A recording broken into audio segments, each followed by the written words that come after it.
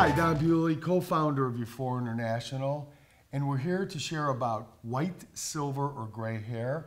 And I'm with Joanne Rempel, our color director. Joanne? Hi, thanks, John. First off, let's talk about why white hair turns yellow. Uh, that is the, the biggest thing that, uh, as a consumer, people need to understand is that you need to use a shampoo that is going to remove residue, uh, environmental um, deposits, mineral deposits. Those are the things that turn um, hair yellow.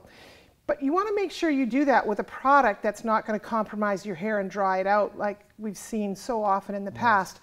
Euphora's Urgent Repair shampoo is one of the best products I've used in order to remove any kind of yellow buildup on an ongoing basis.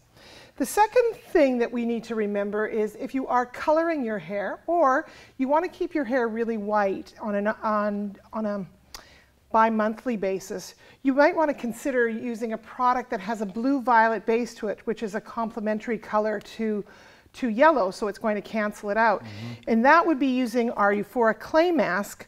And what we would do is we would use a small amount of clay mask with our Color Revive. So you're going to use about a teaspoon size amount. Apply one pump of the blue-violet Color Revive into the mask.